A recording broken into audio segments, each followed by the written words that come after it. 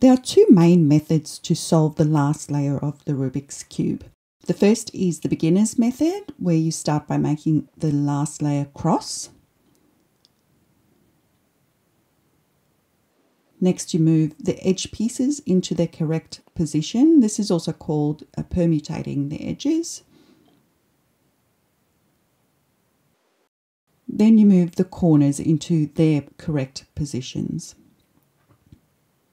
And lastly, we rotate each corner so it's orientated correctly.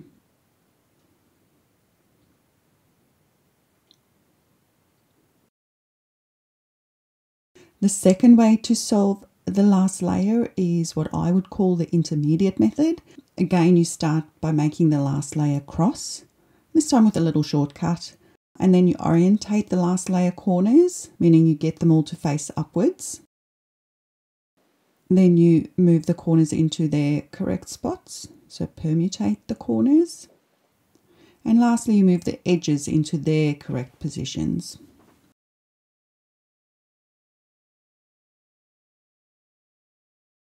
So, um, which method should you learn? The beginner method uses shorter, easier to remember algorithms with patterns, but it can be quite repetitive. The intermediate method has longer, trickier algorithms, um, but it cuts down on that uh, repetition. Most importantly, though, the intermediate last layer method is the foundation for CFOP. So, if you want to move into speed cubing, then learn the intermediate method because CFOP builds on that. So in this video, I'll show you how to solve the last layer using this intermediate method. The first thing again is to make the last layer cross. Uh, so you'll have one of three patterns, the dot, the hook, or the line.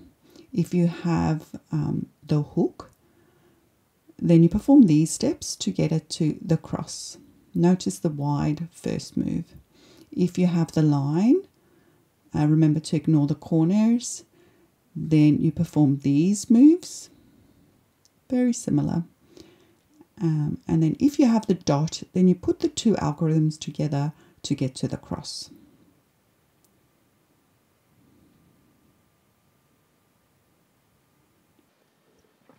So for the beginner's method, we permutated the edges so move them in the correct spot, but we don't need to do that for the intermediate method. So the next step is to orientate the last layer corners so that this side's completely yellow.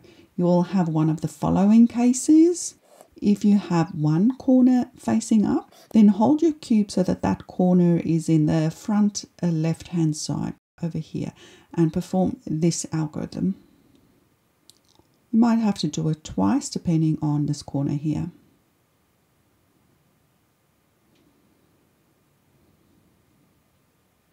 So we're going to do it again. We've still got one corner facing up. Turn that corner in the front left hand side.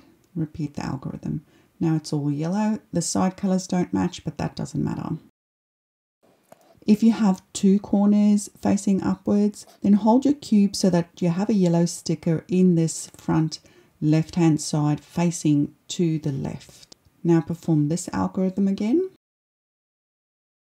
This takes you to this case where you have no stickers facing up. Again, make sure you have a yellow sticker on this left hand front side.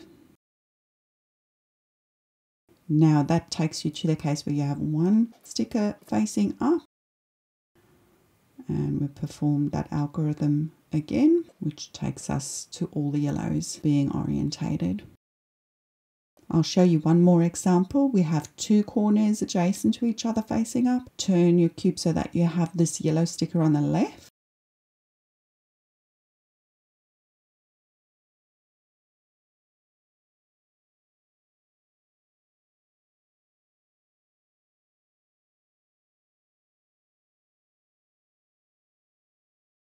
You don't have any of these cases, you have a twisted corner, so you can watch this video how to fix that. So the next step will move the last layer corners into their correct positions. So have a look at this top layer. If you have two um, matching corners on the same side like this, then hold your cube with those matching corners in the back. Perform these steps to swap the two front corners.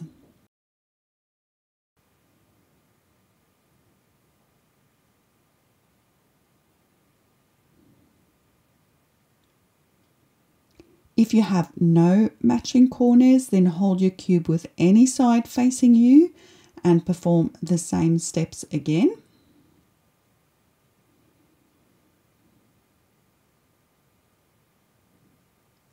That will give you two matching corners.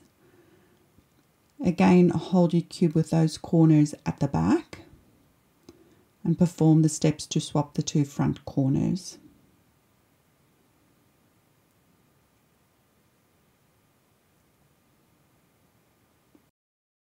Now that we've got all the corners in the correct position, we'll move the edges into place have a look around the cube. If you have this solid bar like this with three colors matching, then hold your cube with that solid bar at the back. Have a look at these three pieces. You're either going to move them clockwise or counterclockwise.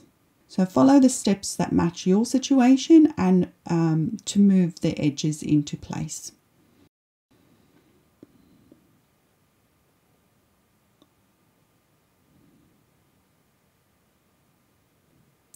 If you have a no solid bar, then hold your cube with any side facing you, perform the steps once, and then that will give you one solid bar.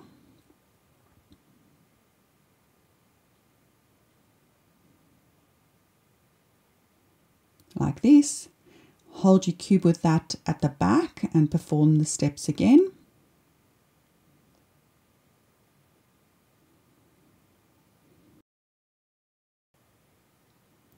So that solves the last layer.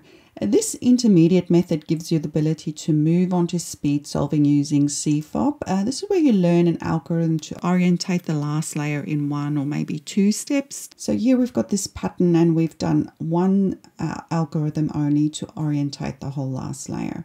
Secondly, you can build on that to do um, PLL, where you can learn algorithms to move the corners and the edges at the same time. Uh, so hopefully this clarifies how you step up into learning speed cubing or CFOP. Um, so have fun with this concept, guys.